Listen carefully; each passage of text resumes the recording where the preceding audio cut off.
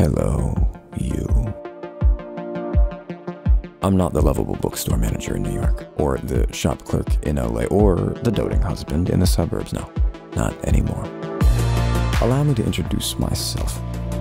I've gone through a bit of refinement upon crossing the pond, and living in London has allowed me to bury the past, if you will.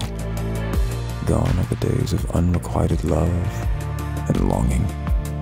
No, this time around, I'm focusing on academia and instruction while keeping my typical extracurricular activities strictly professional.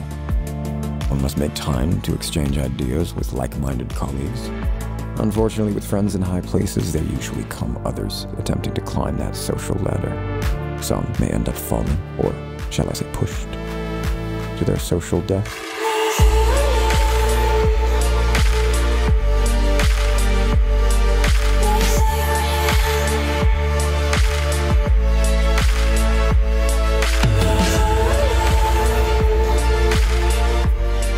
The question is